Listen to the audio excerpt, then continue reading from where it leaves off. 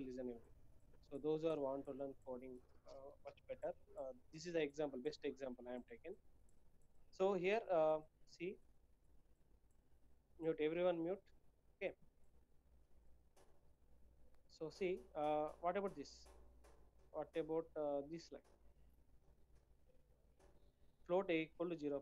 Okay, that is no problem. Semicolon D.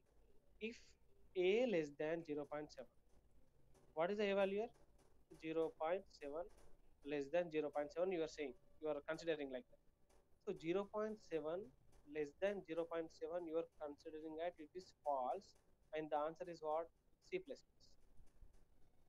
in the exam if you put c++ your answer is wrong. Now the correct answer is the correct answer is c. Sir the condition is false. Sir the condition is false. Why you mentioned that uh, uh, sir c is a correct. Now see what happened? You know students what is the float uh, size? 4 bytes. What is the double size? 8 bytes. Try to understand. Float size is 4 double size is 8 if you want to mention if you want to store a float value 0.7 you require how many bytes? 4 bytes. 4 bytes required. Yes or no? So what about this number so here a is 0.7 that is a type of float what about this 0.7 try to understand amma. C language if you not mention that number as float it is treated as double. Are getting? This is a double value. This is what? Float value. Try to understand. This is a float value. You can observe here. But this is what?